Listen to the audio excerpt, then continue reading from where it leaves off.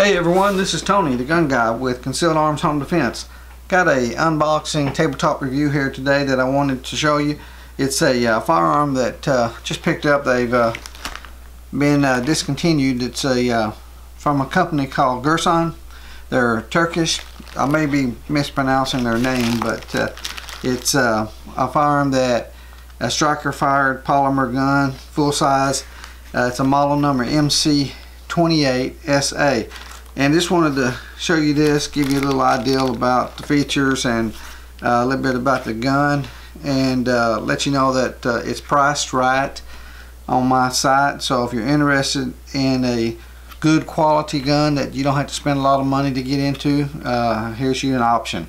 Uh, again it's uh, made by Girsan and they're Turkish manufacturer and the model's MC28SA this is your box it comes in uh, you've of course, of course, you've got your lock.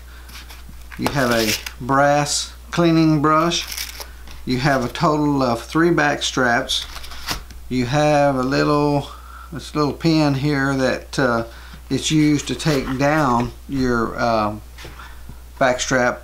That actually, right here, you push through a little pin, and once you push that pin through, you can pull your back back strap off, and then you have like say, three options, uh, small, large, medium. So a little bit about this uh, gun. It is a reverse engineering uh, M&P, Smith & Wesson M&P copy. So if you like the uh, M&P models, then uh, this is a, a, way to get into a uh, gun that won't break the bank, that will uh, mimic the M&P features and it's this is a good quality gun and you can get into it um, a lot cheaper. So it's polymer striker fired and the uh, trigger on this is a six pound trigger uh, has the uh, Picatinny rail has three dot sights on it and they're nice and uh, visible sights there. Uh, comes with uh, just the one magazine and it's a 15 round magazine and the slide has um, serrations here on the back and uh, little ones here on the front. This slide used to have serrations that were just like here on the back but with this particular model they went with just these small serrations up here. The uh, excuse me, mag release on this is ambi. So if you want to change it for a left-hand shooter, you can do that. You can move that. This gun, just for comparison, if you used to look at this area right here, it's about the same size as a Glock 19. The only difference is, is that the uh, grip on this is a, a little bit longer but this is pretty much identical to size as a Glock 19 the barrel on this is 4.25 inches. This weighs 1.6 pounds. And this is imported by uh, EAA uh, European oh I forget their actual name. Let's see here. Nope.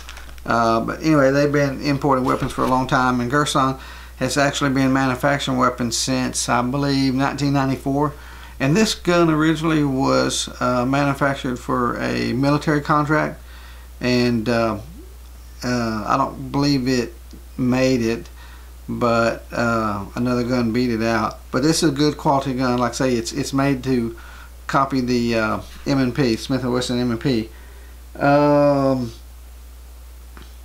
I'm going to be selling this gun I think for around $310 and of course I'll have my normal shipping of 25 that's uh, uh, insured. So you never have to worry about shipping if it's lost or broken from me. I always do insured and only. So that's the Girsan MC28 SA if you're again looking for to get into a, a, uh, a good quality made gun here's you an option uh, there's there's uh, a lot of these guns out there, a lot of good reviews on them as far as the uh, shooting and quality and so on. And again, I've looked at this gun and it's it's nice and tight. Their the finish on it is great. Um, I haven't seen anything on this that uh, uh, I'd be worried about. And also, you do have your uh, cocking indicator on this right here in red. So there you go. Uh, as always, please like and subscribe. And if you got any questions, uh, just leave them in the uh, discussion below and I'll get back or in the description below and I'll get back to you. This is just a little short video. I mean, I just wanted to kind of show you the gun. It's just something that uh, we just picked up here and uh, this is a good option to get into a full-size gun without breaking the bank. So, uh, oh, uh, one other thing I forgot to tell you. Being that this is reverse engineered M&P, this gun will fit um, any M&P holsters, so it's not going to be hard to find a holster for this gun. Uh, you know, it's not like some guns that, I mean, you have to just search high and low uh, to find a, uh, holster.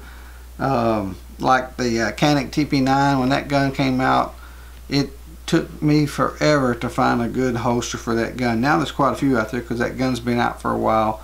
But uh, uh, this one here, you do not have to uh, look hard to find a holster. And also, I forgot to mention, which I think everybody should know, this is a single action trigger. So, and it has no safety on it. So there you go. Uh, again, please like and subscribe.